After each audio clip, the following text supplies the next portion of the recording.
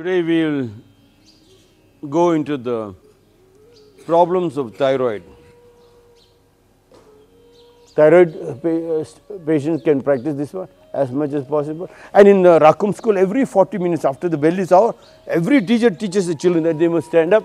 They must stand up like this and then lock your hands. Everybody stand up, yes. Lock your hands like this, stretch it up, and then you stretch. Ah, ah, yes. So if there is people who are having thyroid, please practice this one. And then we go down on this, on the ball of the feet, yes.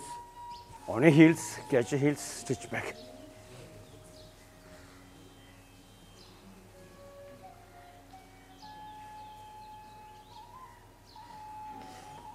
If you can do this one, you should be doing the child pose forward, forward bending, yes. Because this is very good for gastric and they have indigestion problem, thyroid members, thyroid indigestion problem. This is very, very good. What we, what we practice for gastric, that is also very good. If you can go opposite, they must do this one also. And then Sarvangasana is very good. For Sarvangasana, doing Surya Namaskar, we can do Surya Namaskar. For thyroid members, Surya Namaskar is very, very good.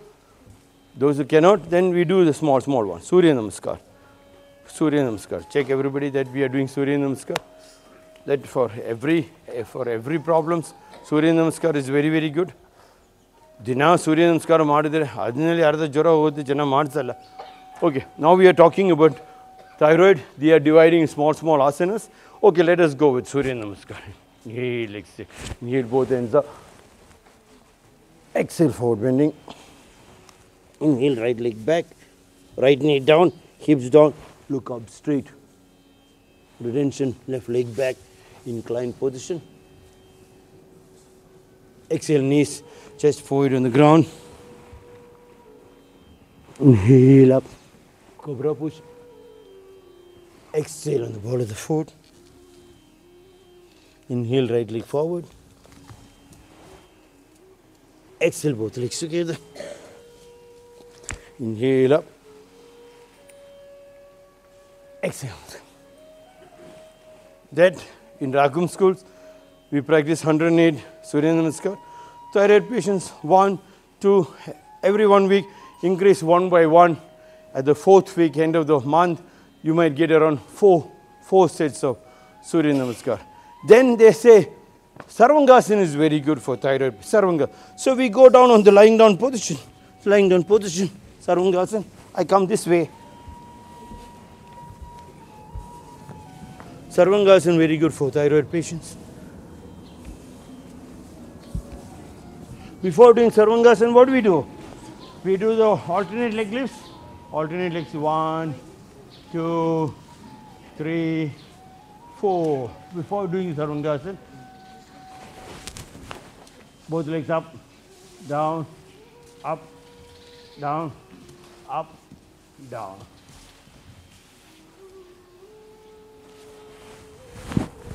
Sarvangasana shoulder stand.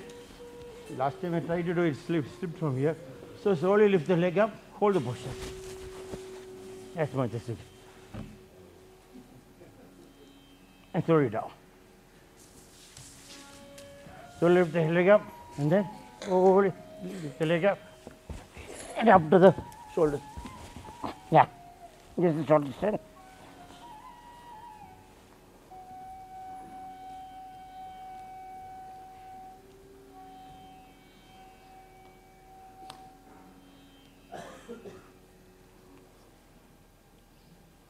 Slowly bring it below head and slowly down. When you go down, you go to the bridge position. Yes. Hold the bridge. And right leg up, down, left leg up, down, hands under your buttocks for your fish pose. Matsyasana. This is very good for thyroid patients.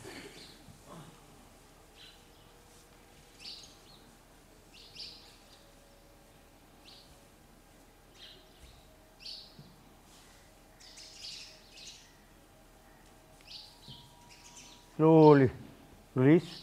Raise the head up, look towards the toes and relax. This many asanas practice for thyroid. It's very good.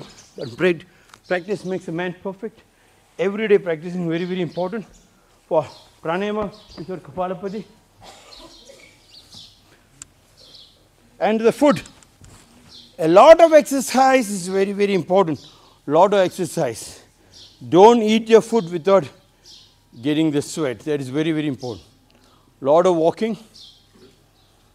And avoid all cold drinks, soft drinks, all fried items.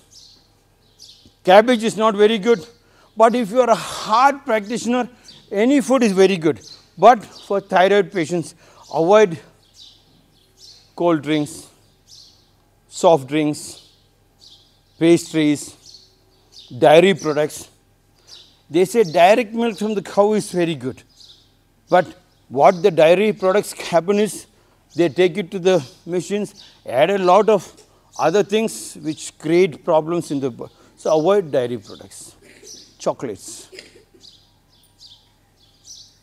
That's all for thyroid. Música